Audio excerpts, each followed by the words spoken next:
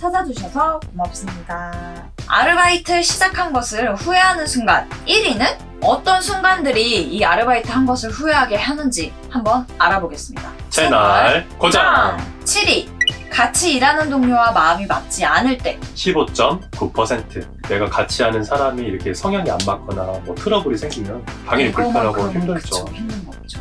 6위 생각보다 급여가 적을 때 16.9% 5위 여행 술자리 등 놀러 갈 계획이 생겼는데 알바 때문에 못 갈 때. 19.8% 나만 못 가면 음, 좀 그렇잖아요. 그쵸. 친구들 다 가는데 4위 시험 기간, 과제 제출 등 학교 일정을 따라가기 힘들 때.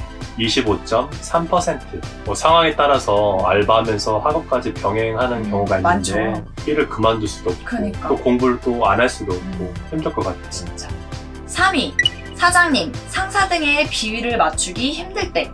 25.6% 2위 생각보다 일이 고되고 힘들 때. 30.8%일 끝나고 집에 갔는데 그냥 파김치가 돼버리는 거.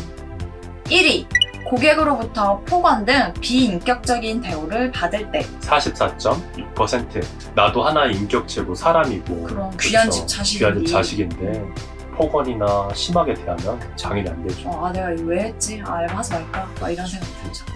알바몬이 공개한 결과에 따르면 아르바이트생 68.8% 알바를 했다가 후회한 적이 있다라고 어. 대답을 했대요. 음, 이렇게나 많이 했대요.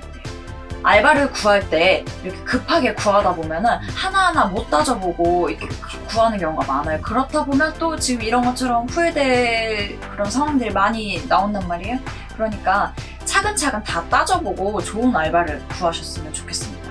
사회 경험이기도 하고 어떻게 보면은 이게 돈을 버는 뭐 네. 그런 거기 때문에 음, 이왕 하는 거 잘 따져보고 그쵸. 좋은 곳 나의 성향과 맞는, 맞는 곳에서 잘 따져봐서 일했으면 좋겠습니다. 네.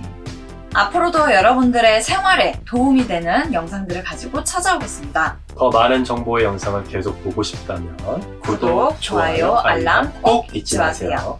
지금까지 시청해주셔서 고맙습니다.